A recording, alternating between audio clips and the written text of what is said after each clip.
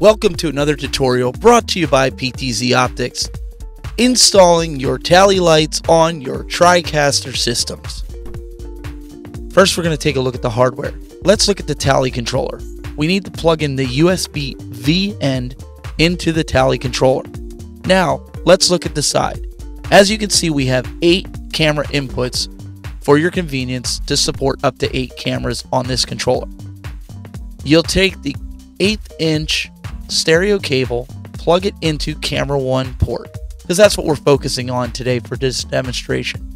Then take the right angle eighth inch and plug it into the tally light indicator. Also, you'll notice there is a rotating knob on the back to adjust the brightness as needed for your production. Next, plug your tally light system into your TriCaster in an open USB port. Alright, we made it this far. We're on to the final step.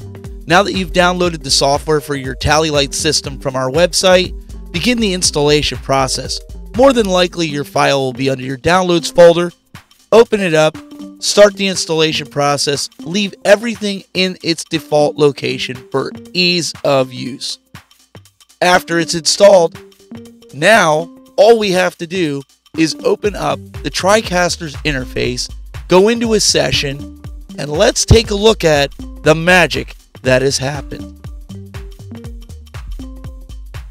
All right, now we're in the TriCaster's interface, and as you can see, I superimposed the capture of the camera one that you can see on the left over top of the preview of all the other cameras because we don't really need to see that. In preview currently, I have camera 1. In program, I currently have camera 2. Watch what happens when I switch from camera 1 to camera 2 in program, and you'll be able to see the tally light change immediately. Just like that. It changed, and when we switch it back, it'll go back.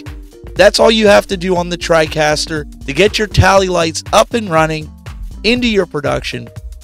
It's an awesome, awesome piece of equipment. You need to check it out. Head over to tallylights.com for more information and enhance your production.